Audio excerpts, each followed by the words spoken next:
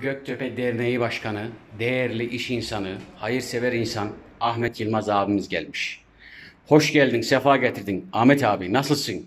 Yengem de vefat etti. Neler söylemek istersin? Yaran kaçtım ama. Şu cuma günü e, öncelikle herkese hayırlı cumalar diliyorum. Seni ziyaret etmekten de gurur duyuyorum. Seni Hoş geldin. seviyorum. Sefalar getirdin. Cuma günü ziyaret edeyim dedim. Bir de bütün herkesin ölmüşlerine rahmet diliyorum. İç sıra benim hanımım da yattığı yer nur olsun. Ee, bütün arkadaşlarım da, dostlarım da Cuma'sını kutluyorum.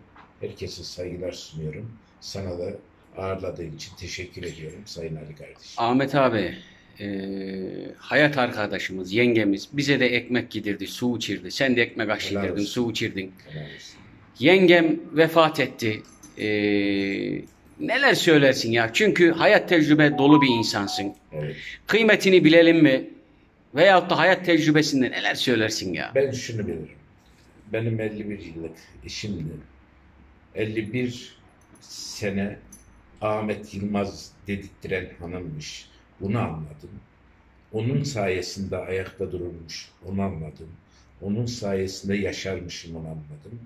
Ee, çevreme baktığım zaman bütün eşim, dostum varken onun zamanında varmış. Şu anda hiçbir işini göremiyorum.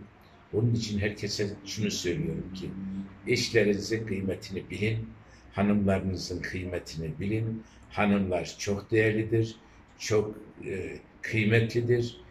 Evinizin direğidir, sizin canınız ve gözünüzdür. Bunu unutmayın. Benden size tavsiye olsun değerli arkadaşlarım. Sağ olun.